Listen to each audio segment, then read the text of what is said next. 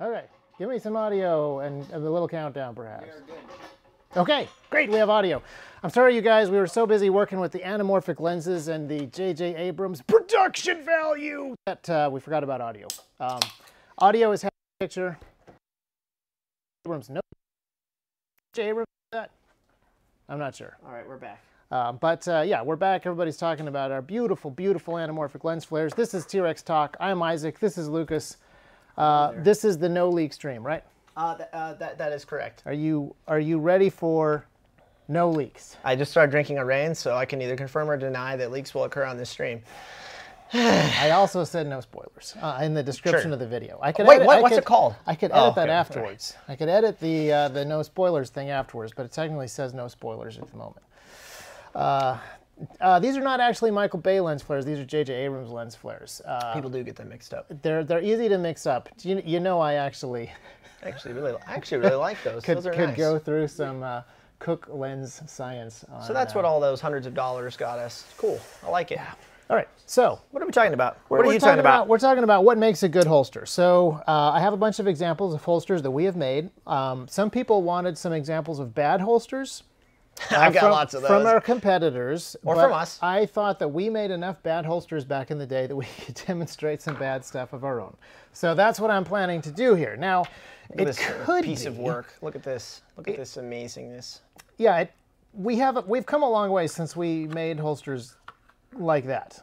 Now it could be that people think that since uh, uh, certain products are unavailable Sure. on yeah. our website, and we're talking about those kinds of products right now, that there might be clues, or You should choose your words very carefully. or Very. spoilers. But we said there weren't going to be any. Leaks, there right. weren't gonna be There's, any there's none of those. We're- we're, People ask you know, way too much. the, uh, we're just talking about what makes a good holster. That's all that it is. Um, yeah, so that's what we're doing tonight, uh, and uh, and you're here with me talking about uh, talking about no leaks. I'm here to no am- I'm here to answer questions about holsters that we have been making for years, All right. and some of which I made myself back in the day.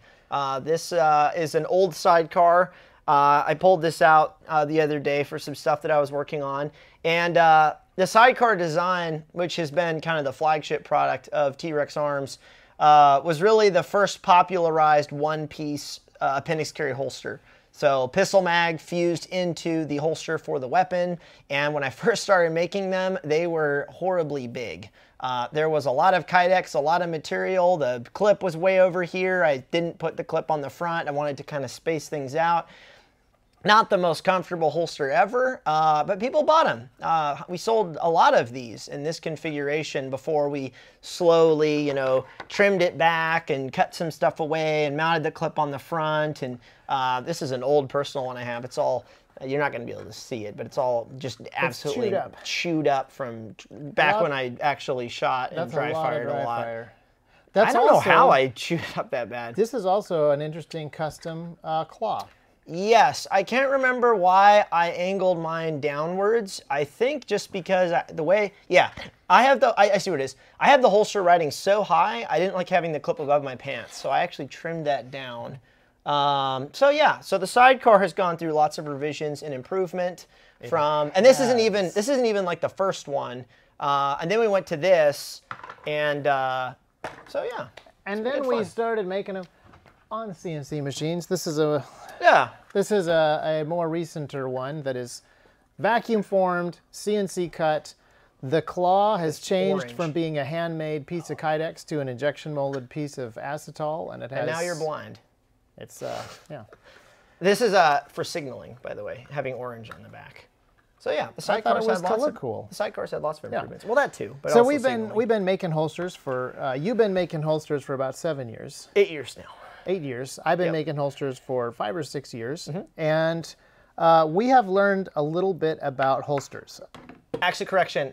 I haven't made a holster in about four years. so I actually only made holsters. I actually only made holsters for two years because I stopped doing that and went to forming.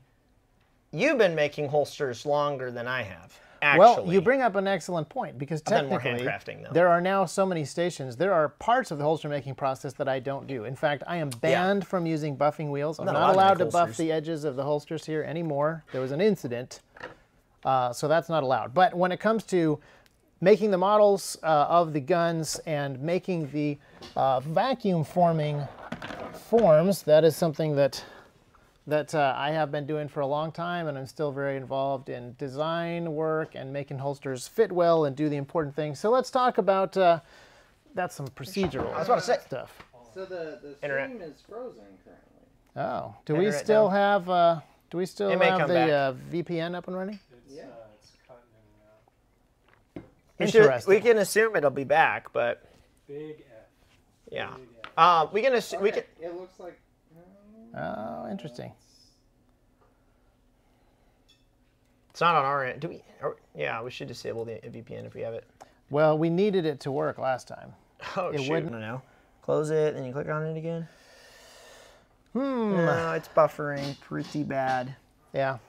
How is audio? Oh, wait, I you think we're back. Can I you think we're still back. can you still hear us with the audio? We had this issue a little while ago. I uh, I still think that we're having a bit of a bit of an issue. Oh hey, there we go. So let's let's talk a little bit. What, in your opinion, uh, even though you've stopped making holsters somewhat have. recently, you use holsters a bunch. I, I lied. I just did actually. I just went to the range. Uh, yes, and I also use holsters. But what do you think makes a good holster? I was asking different people in the shop. Some of us are a little biased because we do work for a holster company, and yet uh, I feel like we spend a lot of time thinking about holsters, experimenting with different stuff. Yeah. What do you think? I think the biggest thing uh, for a holster uh, is accessibility. Uh, I really think that should be number one. Obviously, durability, not falling apart on you. There's holsters out there that, you know, the screws all come out, they fall apart. You know, they're twenty dollar holsters. But uh, I actually believe, and that's that was the focus behind the sidecar originally. Um, was accessibility, having a full grip you can actually get on and actually grab the handgun and actually draw. Uh, but same goes for a outside the waistband holster, where as I go to grip the weapon, I'm not scraping past a holster, I'm not scraping past my pants, I'm I'm just going straight to the grip to build that good uh, dominant hand grip on the gun. Uh, I think accessibility is number one, and I've seen some really weird holsters before T-Rex and during the early days of T-Rex from other companies, where uh, in, in a concealment, you know, fashion, the grip is sitting below your belt line. It's, you know, deep concealed carry, which there's a purpose behind some of that, but you're sacrificing a lot by doing something like that. Uh, so for me, it's accessibility. You know, when I go to actually draw the gun, I have it and I'm, I can get on it quickly. And then there's durability and there's consistency and there's you know, all that good stuff, Well, concealment. well, we have talked a lot in the past about like the triangle of of that accessibility and, Yeah. Mm-hmm. and speed, comfort and concealability, and you can pick two.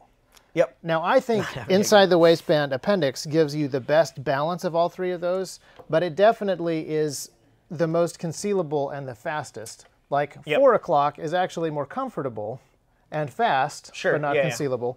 Shoulder holster, very concealable, very comfortable, But- not fast. Yeah. Um, so that that triangle is the thing we talk about. But you mentioned a bunch of other things. There's reliability. There is uh, safety. There Mm-hmm. are holsters that are very good in some ways, but they don't actually cover enough of the trigger to prevent stuff from snagging inside the trigger guard. So there are some safety considerations uh, in addition to the durability and the accessibility and the ease of Yep. use and things like that. So yeah, Uh, I think honestly, the, I think the biggest misconception people have on holsters is uh, the Blackhawk Serpa is actually a great example. Uh, people believe it's a flawed holster design where the button where you uh, deactivate the active retention will put you in a position to fire the weapon. Uh, the answer is no. Your finger going in the trigger guard will fire and discharge the weapon. I have seen people with sidecars and other appendix carry holsters, not seen well, um, uh, close, yeah, but uh, where they've discharged the firearm early uh, or late, yeah, early uh, in the draw process. Um, and that's not the holster's fault. That's their finger going into the trigger guard. And the Serpa is a good example because you know your finger's out there touching the button, but in order to actually like drive your finger into the trigger guard from hitting the button, it's actually very difficult. And I used to use a Serpa back in the day, like forever ago. I wouldn't tell anyone that personally. I wouldn't, but you can. Sure. But uh, I used to use one back in the day, and I tried as hard as I could after the whole Tex Grebner thing and uh, with the 226, and I couldn't even get to the trigger while like hitting the button. Like I just couldn't. I couldn't do it. Um, so as far as holsters goes, regardless of how the holster is designed, whether the trigger guard is fully exposed, fully covered, whatever. Uh, as soon as the gun has actually cleared the holster, that's generally when people shoot themselves. Uh, you know, with their finger going into the trigger guard, uh, clothes going into the trigger guard, that happens too. Uh, but that's almost any holster though. Any holster Yes. you can have that. I could be reholstering into my sidecar right now. My shirt could get tucked in there, this like little hard edge, and the trigger could get pulled, regardless of design. It's really. true. Now, we have seen some issues in the past, all of us, where uh, if you have a leather holster and the leather eventually gets worn out, the leather itself can be an issue. But yeah, be very aware of clothing. You know, defeat the garment properly, or the garment will defeat you. Um, there's a reason that we have this shirt guard here. The shirt guard doesn't actually stop sweat from getting on your gun because sweat is a liquid and it can, you know, go around stuff. And it doesn't actually stop your shirt from getting inside of here because it would have to be really, really tall to do that. But it does help your shirt be manageable. The main thing that this uh, this shirt guard here is is an indexing point. So as you're reholstering, you have something that you can put the muzzle of the gun against and slide it down in there. It does help with the shirt thing, but you can't trust it. If you lift your shirt more than this far, then your shirt could potentially go on the other side of the sweat guard. So there's yeah, there's a bunch of safety considerations for sure, but that requires people to be safe with the gun once it's outside of the holster as well. Don't shoot yourself. Don't don't put your finger in the trigger guard when you're not supposed to. Mm-hmm. It's the best way to not have problems. Now, I would love to demonstrate some of this stuff with an actual gun, but YouTube has a rule that says you cannot handle firearms uh, in uh, during a live stream. And uh, or have guns uh, visible. Uh, no, I think they can be visible as long as you don't handle them. Are you serious? Yeah. I thought mean, they tracked. I thought they tracked silhouettes, or they track hands with guns. They, their, their artificial intelligence algorithms are actually Great, very, Skynet. very, very good. Yeah, Skynet's getting really good at telling whether you're holding a gun, because uh, obviously there's no guns visible. What if you wear? What if you have like a um, motion capture mitts with all the little white dots?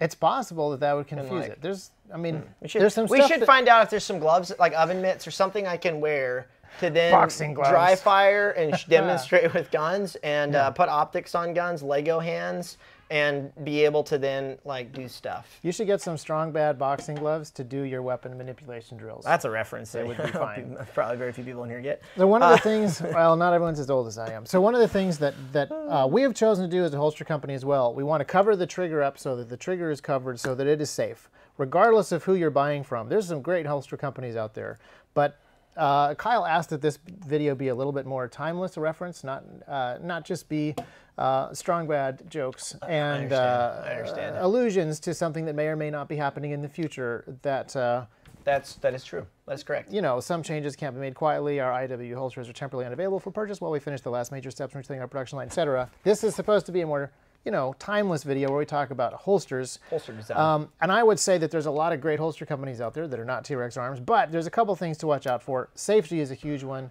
uh, and a really good way to just sort of double check a holster manufacturer is are they covering the trigger guard properly? Um, Another one would be what they do with the mag release. And I agree with that, I would yeah. say that there's there's a couple of ways to, to take care of the mag release problem, which is either you expose the mag release so the holster cannot press on it. So as you bend the holster, it doesn't press the mag release and pop your mag out. Either they cover it up completely with a larger thing so that it can't happen, or they what we do is we remove the Kydex so that you can't actually press the mag release with the, the holster, but Mm-hmm. you can get to it with your thumb. So those are a couple things that you look for, I would say, just to figure out how um, thoughtful uh, the holster maker is being. Um, but that Yeah. the ability to access the trigger is made. Now there are a couple of holsters that we make where you can sort of touch the edge of the trigger guard with your finger, but if you cannot get your finger inside to pull the trigger, that's really the main thing that we're aiming for. uh, optic cuts. I saw a uh, a larger company or more renowned company um, make a optic cut holster for a pistol. Granted, it was a pistol that's not super common. Uh, that was not actually optic cut. Uh, it wasn't low enough, and that's actually something to watch for. Not every uh, holster company is doing, uh, I would say, relevant uh, research when new guns come out. Uh, you can look at some stuff online and then make some guesses. Uh, something we try to do here is we get the like we go buy every gun we make a holster for. Like we have, you know, every gun we make a holster for. We scan it. We you know caliper it. We make sure it actually fits. We come into the armory. We put optics on them if we can. We uh, the weird, the biggest optic we can find. Um, and I, I don't think some holster companies are going that far. They're just looking at, which in the early days, that's when you don't have a lot of money, you kind of have to, but you just look at a pistol that comes out, you kind of make some estimates on like, okay, the you know the trigger, the ejection port's super far forward, and so I just need to cut, you know, my optic cut down kind of to there, and it'll fit everything. But then you have optics like the Trijicon SRO that sit in front of you know the optic cut itself. So um, SRO stands for Snoot Red Dot Optic, right? yeah, it's very snooty actually. It's got a long I was not shooting with one today. It's got but- almost like a beak on the front. It's it, the SRO is a beak. You're not wrong. So um, let's not go down that road though. Let's not uh, summon everyone from Twitch. Um, this is YouTube. It's very different than Twitch. The Twitch is very they're very different.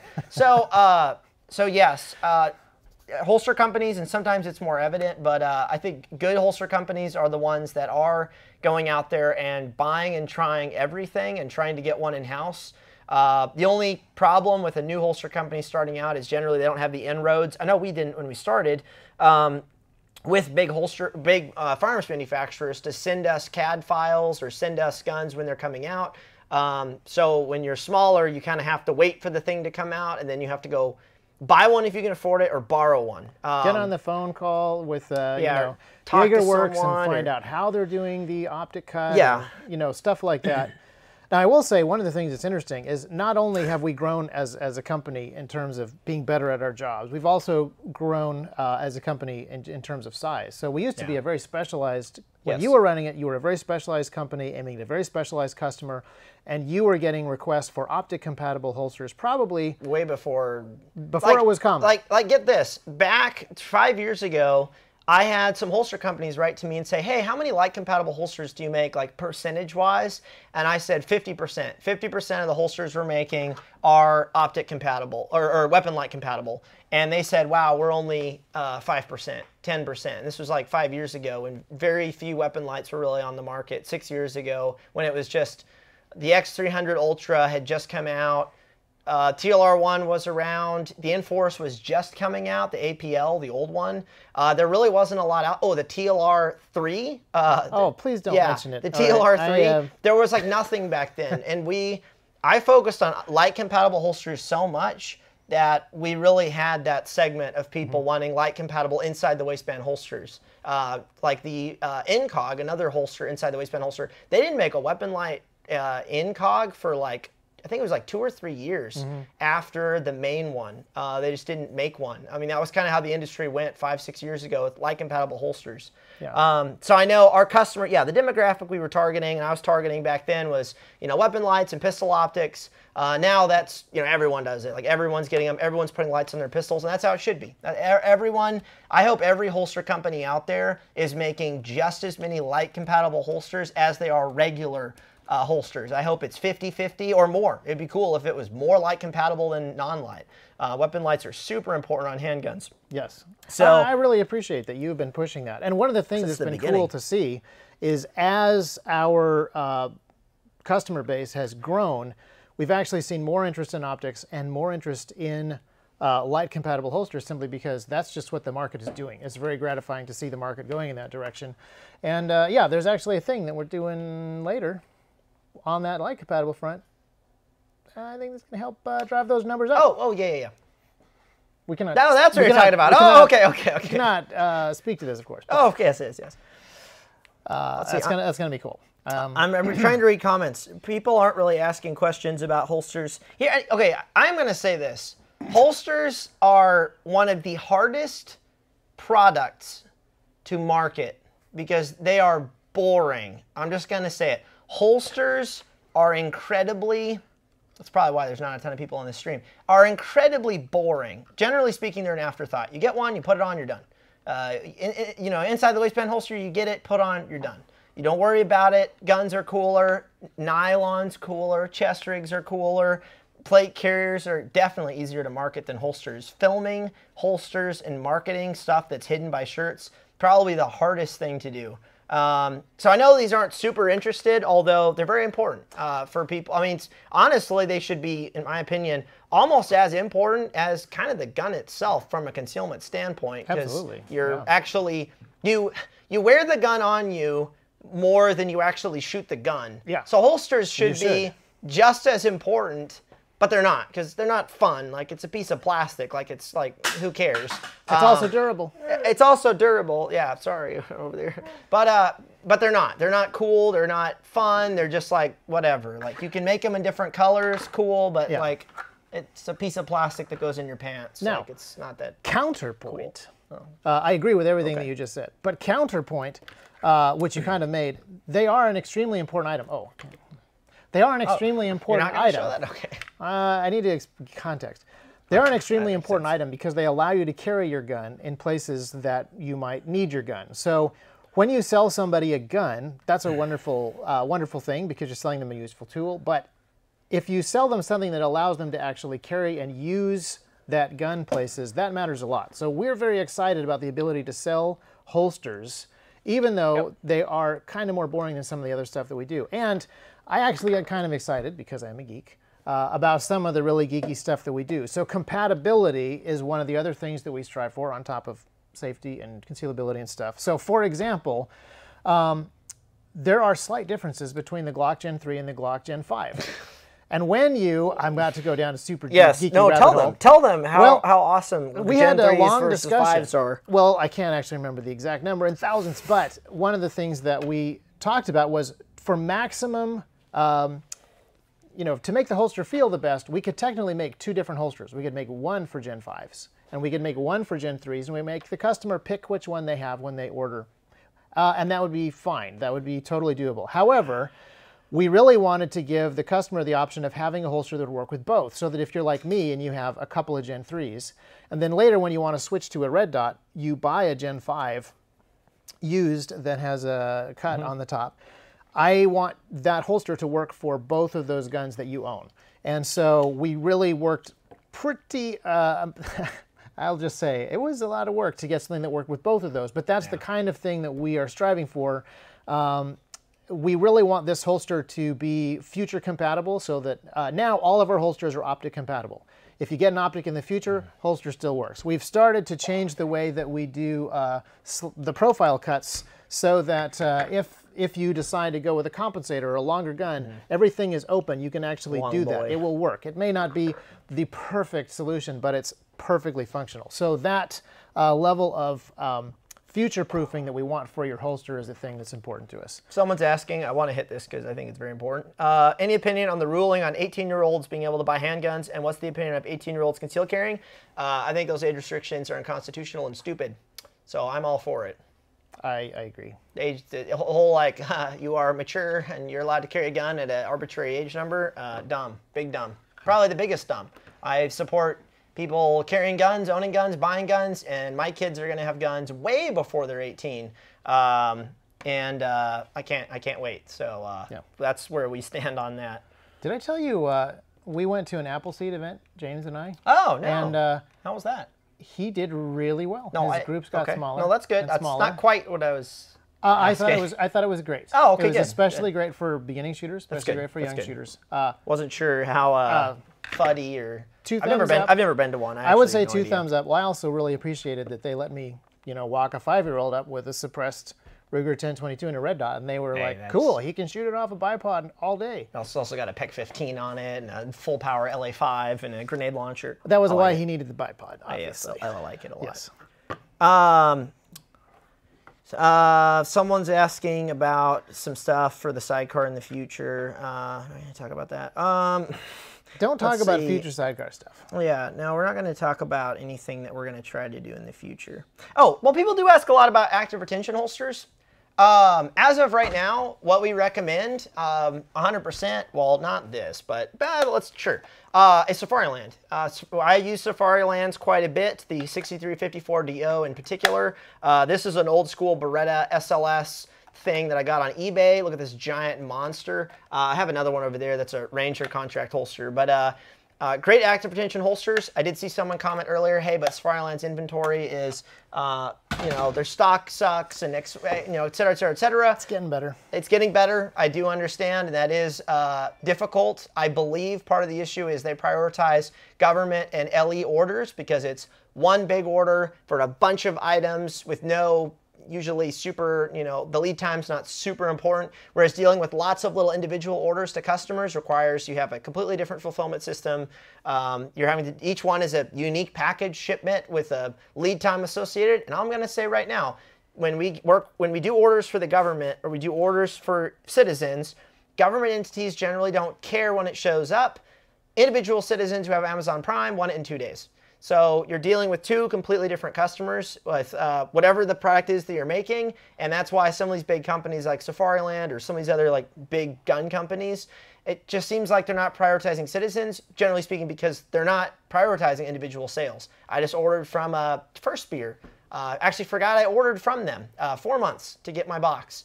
Um, and me being someone who would like to see the stuff within a week, I care about that, but a government agency, they don't care. They, they swipe the card, they wait a few months, they get it, they're done. Unless they're about to deploy, it really doesn't matter. But for individual citizens with Amazon Prime, different story. So we prioritize every order. We prioritize like individual people, obviously, because we ship, you know, same day, next day. Like it's insane right now. Uh, and with our lead times, uh, there's not like extra priority for military orders. It's just everyone gets stuff soon. Everyone gets stuff quickly. Uh, let's not talk about lead times too much right now. Uh, we, yeah, we won't talk about that. But, But I will you know what I mean. there, there is individual customers are a little harder to deal with. They are. Do you It's an think, individual Do you think there's per- any customers in this chat right now? no, probably not. Okay, They don't just like us. checking. Uh, They're, so, they're like uh, people on my Twitch that are just there for free stuff. So one of the things that we have tried to do with the holsters is constant improvements, and I have a couple of examples of that. Uh, One of the things that we used to do in the past was we used to make outside the waistband holsters out of a weight Kydex. This is 0.08 inches thick. It's very flexible and it's not quite as good at the retention uh, side of things based on how flexible it is as a more durable Ragnarok, which is made out of uh, 0.125. This is Kydex that is one eighth of an inch thick. It is much sturdier. It is much more rigid. People have driven cars over these things, and uh, you know, a couple of them have broken. We've had, to my no, uh, to my knowledge, we have had four, three or four Ragnaroks break out of thousands. I'm very happy with that failure rate. Uh, one was driven over and broke. One is from a buddy of mine that just cracked and he doesn't know why. And then the other one's a customer that I don't know how they use or something, but out of the thousands and thousands and thousands of Ragnaroks that we've sold, with like three or four confirmed breakages from people that have emailed us, I'm very happy. In fact, I'm I'm that's a, an astounding failure rate uh, for a, a product. Uh, Every product will have a failure rate. I do think this is a pet peeve of mine. I'm gonna I'm gonna cover this real quick. I think this is important when you're talking about holsters, optics, weapon lights, whatever. People have this really unrealistic expectation in the gun industry of wanting invincibility at zero cost and maximum effectiveness for 200 bucks, uh, 100 bucks, 50 bucks. Uh, very unreasonable, very unrealistic expectation. Uh, they want mil spec, which that mil spec isn't usually necessarily really good, but mil spec quality for a 100 bucks. And it's like, yeah, that's not how it works. Everything breaks, everything runs out of batteries. Uh, I went out to the range the other day, my T2 was dead.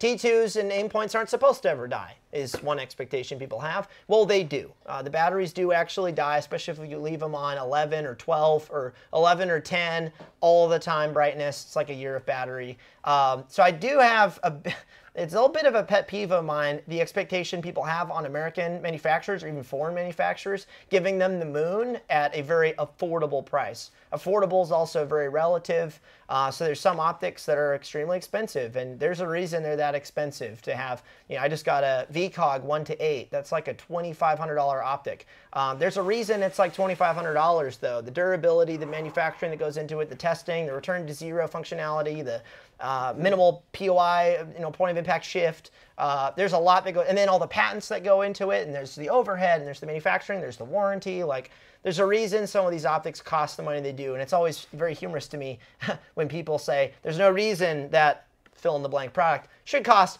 this amount of money by all means, go out and do it yourself. Make it better, make it cheaper, make it faster, make it greater. I, I'm down. I would love to be able to buy a VCOG style optic for $200 that's just as good instead of 2,500 bucks, personally.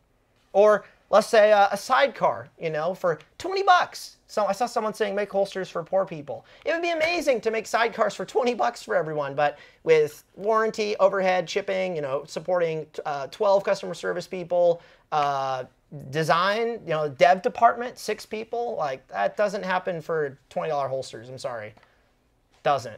Well, I mean, let's say we had 10 Well, million customers, could, but, you know. and then we made them in uh, China. You know, it's possibly doable. So go Sweatshops, go go get a bunch more customers, and uh, and we'll we'll we'll look into sweatshops. They can't be I, that I expensive. will really. gladly welcome competition of all sorts. I, I, I, I crave it. just for fun.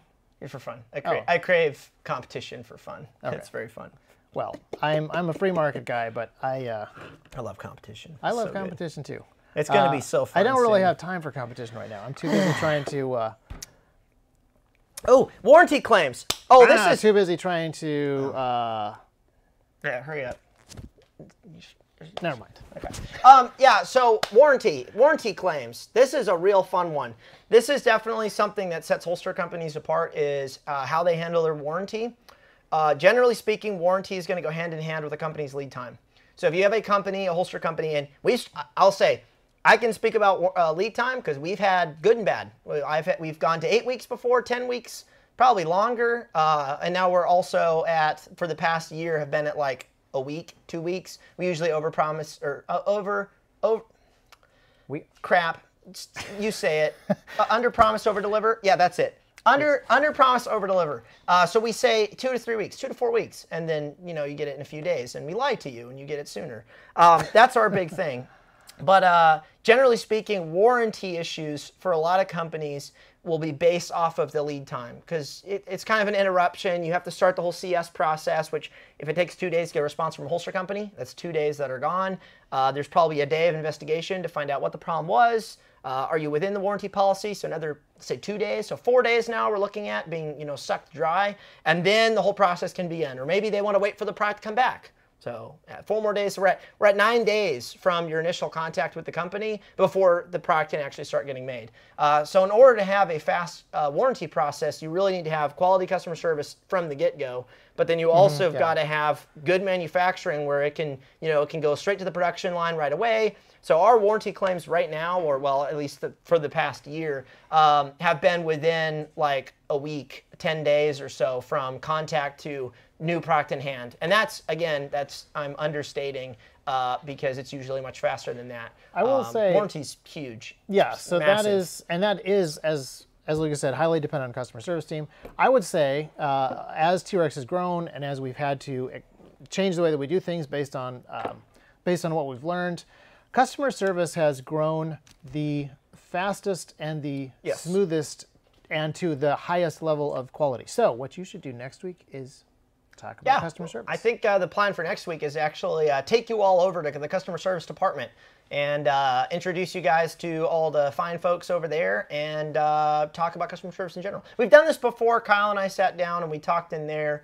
Um, some of y'all are like, customer service, who cares? Or customer experience, we don't care about that. Um, but we'll actually go over there to the department and actually show you guys kind of what's going on. Um, I know uh, one of the guys is working on this insane Excel spreadsheet of like every handgun out there, uh, everything that's compatible with it, everything that isn't. Um, other holster companies that make stuff for it. If it's not us, tracking all those other companies, like literally tracking competition on what holsters they're making for certain guns that we then tell people uh, when they write to us. Where it's like, hey, like I saw him today. I walked over. He was going through B&T guns. He had the USW and the Welrod, the little uh, uh, Station Six pistol, and I'm like, you're going that far to include two guns that will never make a holster for, guaranteed. that Um, most likely I we're never making a holster for, Just saying. and no one else really does. But he had it on the list because there actually are like two companies that make holsters for those guns. Um, so that's how far they're going with some of the documentation on, on the back end that we have for customer service. And I literally just looked over my shoulder and I kind of laughed because I was like, that's going pretty deep down the nerd rabbit hole for guns uh, to support. Yeah. So um, Yeah, well, that Yeah, is it's usually fun. fun. Now, another thing I'd say for warranty is uh, you mentioned we've only had a couple of these break. So generally, what we have warranty issues is with this. So obviously, that is something that we will break. address. yeah, they do break sometimes. And we'll make sure that Yeah, that's addressed. Yeah, the, the, the, we'll, Later. we'll address the breaking for them. Yeah. Anyway, this Um, right see, here what is other an questions interesting product. Talking about holsters is boring. So here's an interesting product that I want to show you guys because this is a prototype for something that we never made. No, someone. Oh, yeah, go ahead. Yeah, yeah, show them. Yeah. not? So, so this is the kind of product testing that we do. Uh, we made a bunch of these. This is the Raptor 2.0. The Raptor 2.0 Good job, Isaac. uh, isn't going to happen. Um, or at least this thing right here is not going to happen. But this is kind of an example of experiments that we were doing where we were trying to add more customizability. So this is our normal outside the waistband. You can play cribbage clip. on it. It's got lots of extra holes Lots for stuff holes. going up and down, and it's cantable. And we experimented with holes versus slots. We, uh, you know, and just wore this a whole bunch of different ways, experimenting with comfort, experimenting with the adjustability, and so forth. That's the kind of testing that we do. I think I wore this for uh, a year and a half in some different configurations. That's the kind of testing that we generally do, trying to look for ways to improve stuff. Uh, and this one even has uh, the holes on the back so that you can put our Ragnarok belt loops on there and wear it outside the waistband. Uh, but it's too it's too flimsy. We want to do that with the 125. Also, I was going to say Even you did that? Okay. we made tons of those things, and we experimented with different things. Like we cut a slot so that you could cant this uh, particular belt clip, and it was sliding. And so we switched to a square nut instead of hexagonal nut, and we cut little pixels, like little grooves into the side, so the square nut would lock into those and it wouldn't slide. It was super cool, but it was actually probably not the best way to uh, solve that particular problem. I will say, going the whole modular route of like outside and inside the waistband in the same holster, I tried that way back in the day with the early Ragnaroks where I folded Kydex over in the back. Uh, not great, not great. So this is, you know, like it's cool, but it's not There's too many downsides. not optimal. Yeah, not optimal.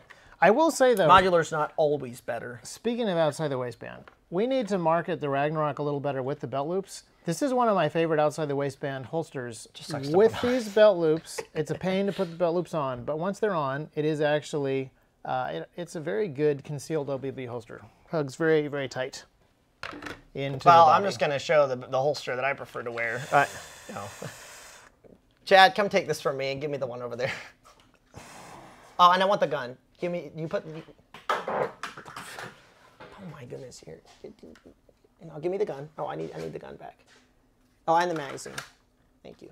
Um, no, so uh, at, at the end of the day, if you are carrying, like, if you're needing a, a, a gun that's concealed carry, uh, I far prefer having a dedicated, like, concealed carry setup. So this is my personal setup. Oh, shoot, am I showing a gun? Well, I'm not holding it. No, I'm not holding it. But showing, uh, this is my setup right here, and um, gives me everything. I never need to go outside the waistband. If I do have to go outside the waistband, what do I do?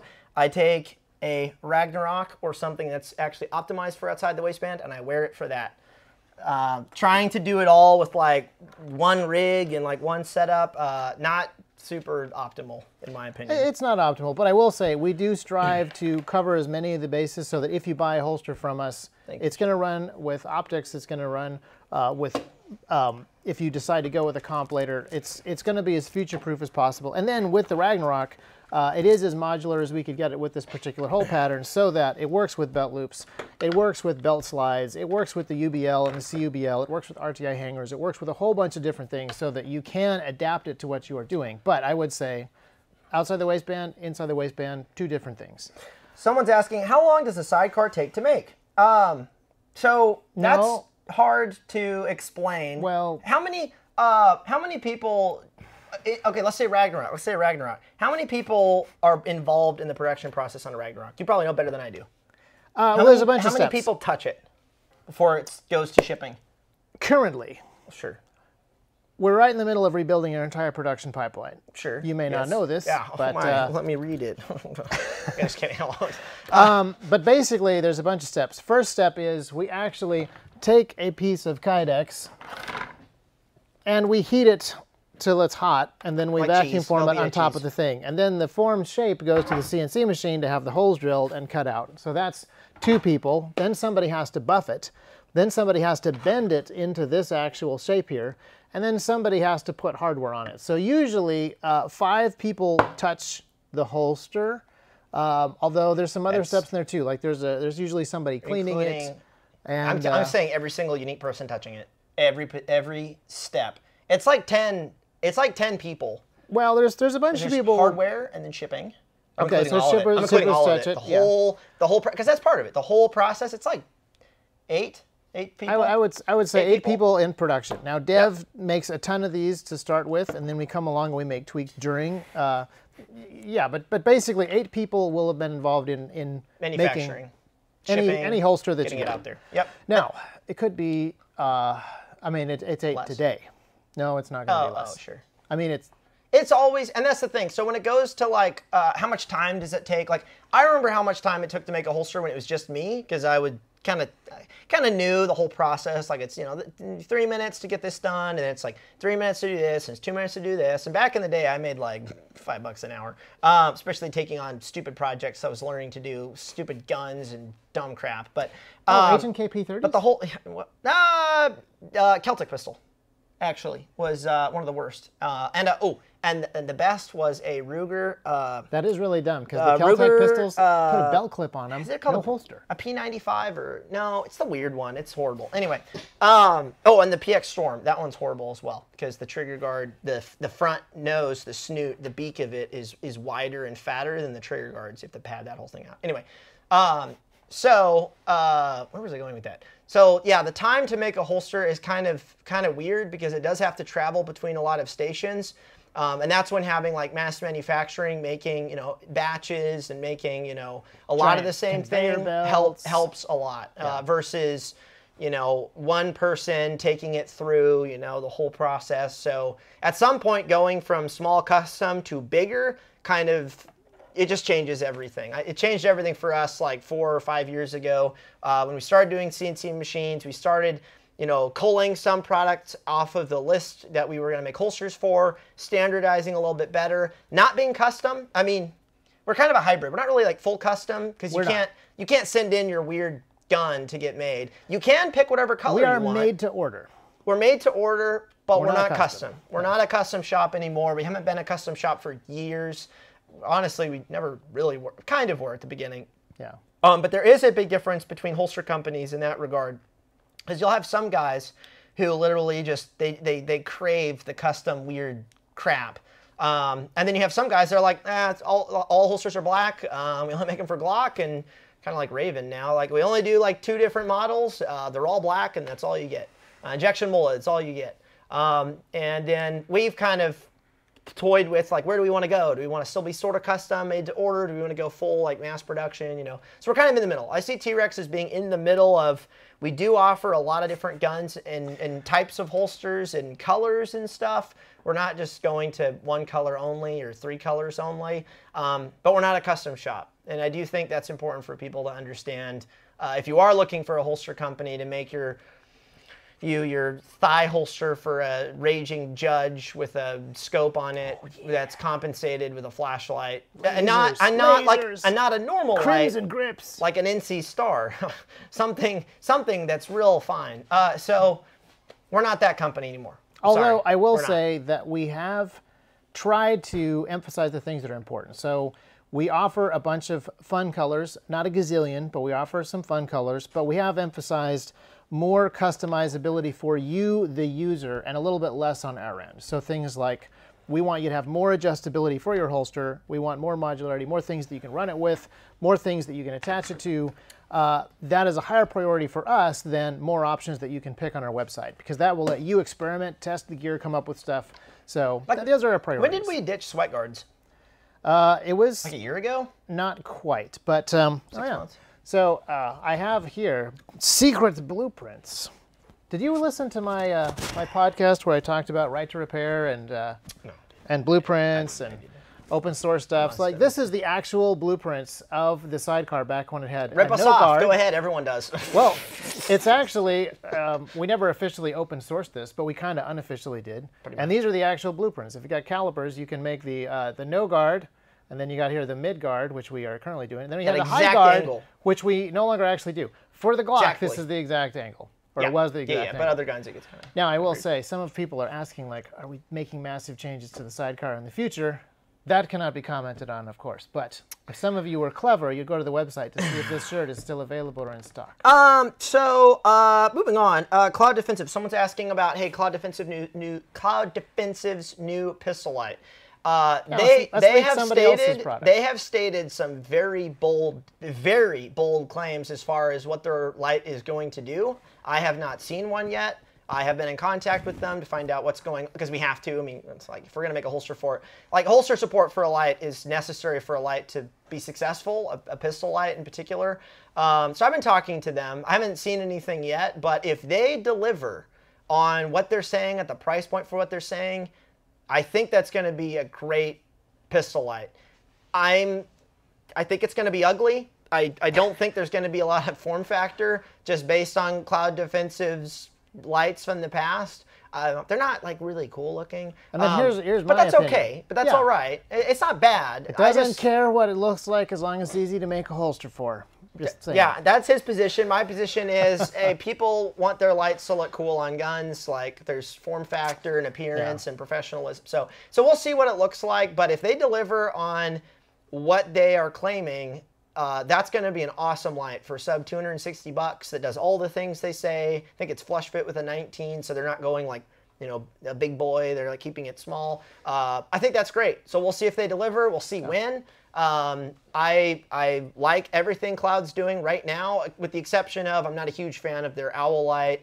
Their REIN is super big, but you know it's whatever. But their trade-in program, uh, trade-in program for dealers, and uh, how they handle warranties and lights that get confiscated after shootings and stuff. Uh, they're they're they're running their company in a way that definitely puts you all or me uh, first, and that's how it should be. Um, I, I don't think their products are, you know, like gonna take me to the moon or anything. But I think the way they're running their business Olights is will do that though. I, Olights. Yeah. Just Oh my FYI. goodness. Uh, people asking So- when the adult sizes of the Turks Orms shirt comes out. That is Uh, a good why question. Is, why is Turks Orms not I would uh, not a, a fun meme like Beaks are? I don't know. Turks Orms is hilarious. Um, I don't know. Well, they're Just I don't know. It's hilarious. I would wear one. I, I'd wear one more than any of our other shirts. Um, Do yeah. you make? Storm. I don't think we'll ever make holsters for those. There's No, a bunch of people please get a asking various questions about the uh, production retooling, and uh, they're thinking like maybe we're installing just like another CNC machine. I'm actually actually kind of annoyed by that. We have installed a ton of CNC machines without ever uh, even a hiccup in Do you want to say how many we have? Well, I, I I'd have to stop and think, but we basically have four. Well, no, I can't, I can't actually even itemize it because there's a couple doing a thing that we can't talk about. But uh, there's, There's some like- very cool stuff, very cool things back there doing very cool stuff. But We have room to add a lot do you remember too. a couple of years ago when we moved uh, from one shop to another shop and it was seamless uh, as far as customers were concerned? Like, Yeah. like I, I think we added an extra week to lead time, Yeah, and we moved the entire shop. So uh, I, I'm I'm I'm slightly offended, sir, that you would think that uh, we stopped production for, you know, One. One extra. One extra Two machine, extra. or we could add. We could This add. is, we uh, could add four or five. Uh, like let's let's say, and we have room for it. Let's say we got a big government contract or something weird, or we opened up to dealers all of a sudden, which we currently only sell to two, one in England and Royal Range. Uh, let's say we opened up to dealers. We would probably cart in here another five to six CNC machines, and you all wouldn't notice because you all would just be getting your holsters and your stuff within, you know, our lead time of a week, two weeks, whatever. it's possible. Um, it's also possible that adding Sure. that many at one time would be, you know, I mean, It would take longer, nights. but the, the thing is, whenever Saturdays. whenever we go to make improvements or mass changes, the first question is how is it going to affect our current obligations, our current expectations for being able to order, being able to you know get stuff right away, warranty. Like that's literally the first part of the conversation Yeah. is how do we handle that? Like moving to the building next door, uh, we're doing a big expansion onto that building. How's that going to affect our inventory, which it's not, which is awesome. Um, like how how's that going to affect current operations? Because I've seen holster companies. There was one in particular. They got a big government contract. They flexed very hard to get the contract. There's a $20 million contract. Uh, it ultimately fell through, but in the process, they put the citizens and individual orders on the back burner. Lead times went to four months. I capitalized on that quite a bit at the time, which I felt really bad for this company.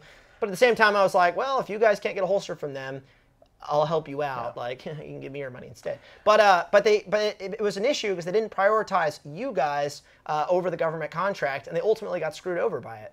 Um, so stuff like that does happen. Companies, you know, they they move away from their primary goals, their primary customer base. They forget the primary customer base, where they came from, and uh, that can be a problem. That can be a really big problem in the long run. And, and one thing I will say, that uh, I really appreciate about this company, even before I was part of it, the focus on the customer was was uh, very very high.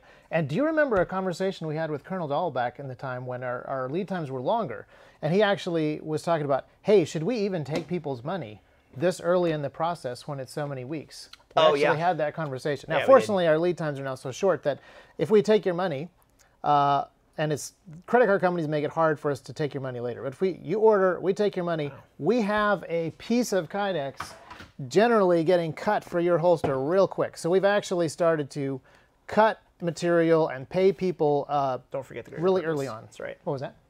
Uh, don't forget the greater purpose. That's correct. And the greater purpose of what we're trying to do is important. It's part of the reason that we like we like holsters, even though they are Um, this is a good question. Does TRX have any interest to expand their footprint in the DoD market space? Honestly, only if it doesn't impede our sales and commitments to you all. Um, I have zero interest in chasing massive military contracts because, generally speaking, uh, they leave it in.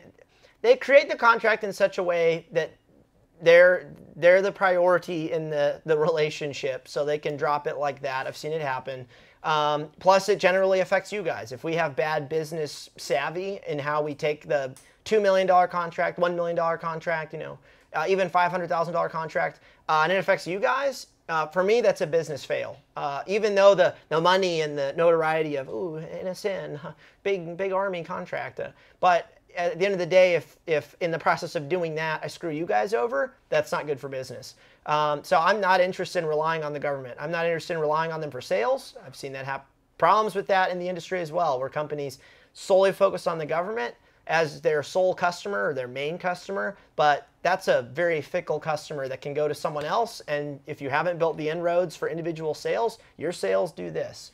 Um, so I have no interest in chasing that. Uh, we don't have an LE mill sales dude running around military bases driving up support. I know of a few other holster companies that have done that. Um, I'm just not interested in that kind of activity. I've had conversations with people, uh, companies like ADS and Quantico and places like that that do uh, contract quotes for big mill and stuff.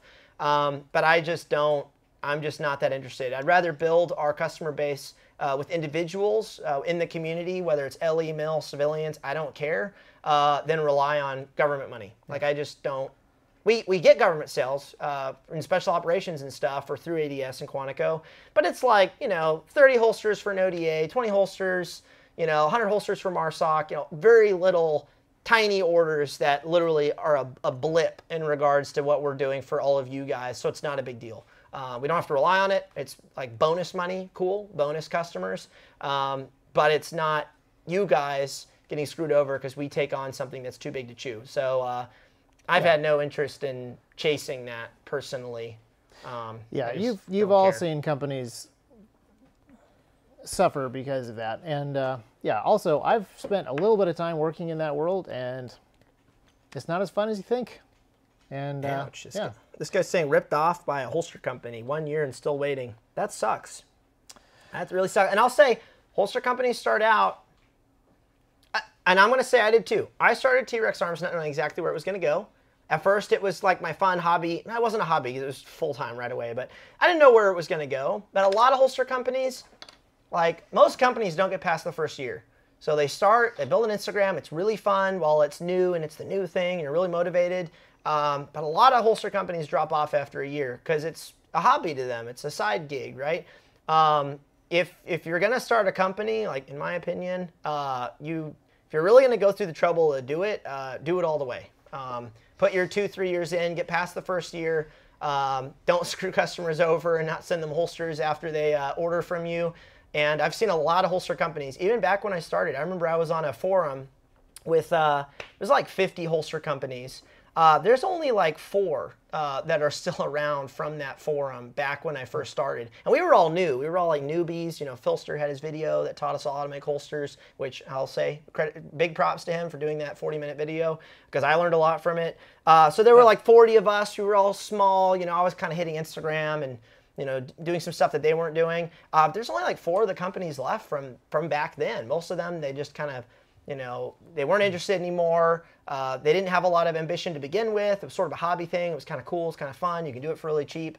Um, and the problem is those companies screw you guys over. Um, and the same thing happens with night vision companies that start out as a hobby company as uh, business expense uh, write-offs, and then you guys get screwed over, and I hate it. It's very hard to do. I will I'm very say, passionate about this. uh, have I told you my bug analogy?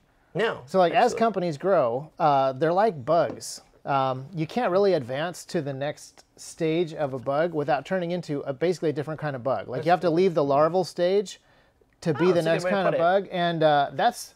Can I mean, be a assume- bug with a beak? I assume it's unpleasant for the bug to do that, but you find yourself, you know, advancing from one type of company to another, uh, and, and you basically have to change forms and learn how to do new stuff and bring on people. Yeah.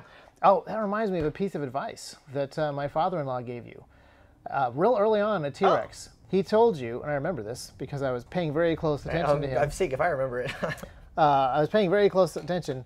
Uh, he said, to start a company, it, you are reliant, completely reliant on your own ability. okay. And then to grow the company, that is entirely uh, reliant on your humility.